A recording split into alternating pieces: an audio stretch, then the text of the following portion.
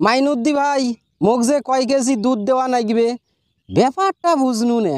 আজকে সবাই মোরে বাড়িত গরুর দুধ বুলি আসবে নাচছে ব্যাপারটা কি?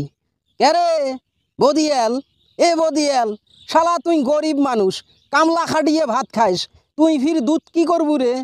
আসলে মাইনুদ্দি ভাই, সামনে রমজান মাস, রমজান মাসে সব কিছুর দাম বাড়ি যায়, তাই মনে করনু যে দুই কেজি দুধ নিয়ে যায় ফ্রিজের মধ্যে রাখুন কি কইস রে?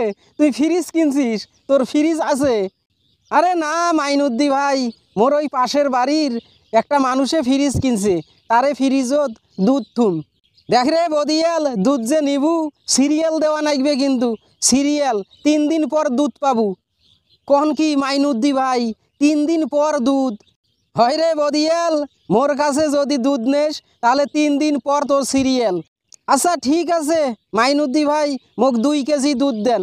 এই বদিয়াল, এটা কি কথা হলু দুই কেজি দুধ, দুই কেজি দুধ মানুষে বিক্রি করে এই রমজান মাসের আগে। দেখেন মাইনুদ্দি ভাই, মুই অনু গরিব মানুষ, মুই টেহা কন্ডে পাইম। আচ্ছা ঠিক আছে, তোক দুই কেজি দুধে দেওয়া হবে দুধের কেজি কত? জানিস সেটা? কে মাইনুদ্দি ভাই, ষাট টাকা করি তো দুধের কেজি, সারা বাংলাদেশে। তুই কি চান্দের দেশত থাকি আলু? না মঙ্গল গ্রহ থাকি আলু রমজান মাসের আগে দুধের কেজি সত্তর টাকা সত্তর টাকা। এক পয়সা কম হইলে দুধ বেচপান্ন ব্যাপারটা বুঝনু নে মাইনুদ্দি ভাই। শোক জিনিসের দাম বাড়ি গেছে জন্যে তোমরাও দুধের দাম বাড়ে দিবেন। দুধের দাম কিসের জন্যে বাড়ে দিবেন নং হে?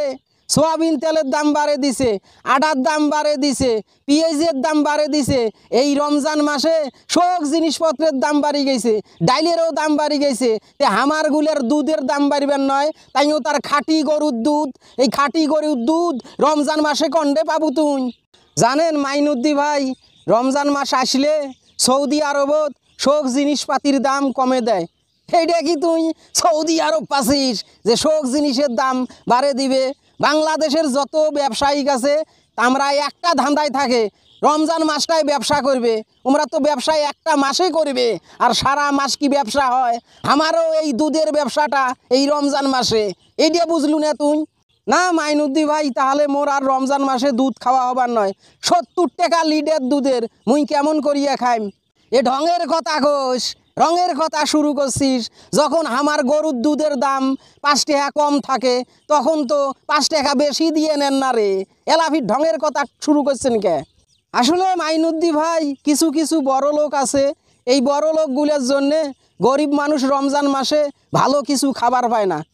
মিশেও মানুষের দোষ দিবেন নাচিস মানুষের দোষ দিবেন নাচিস কে রে?